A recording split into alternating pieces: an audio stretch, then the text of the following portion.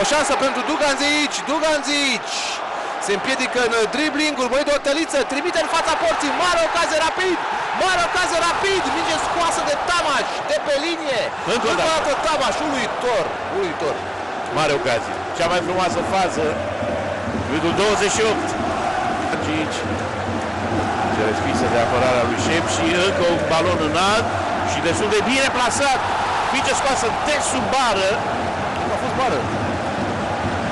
Tonifiantă cu acea peluză de agitată. Și aici marile ocazii ale Rapidului, două intervenții ale lui uh, Tamaș.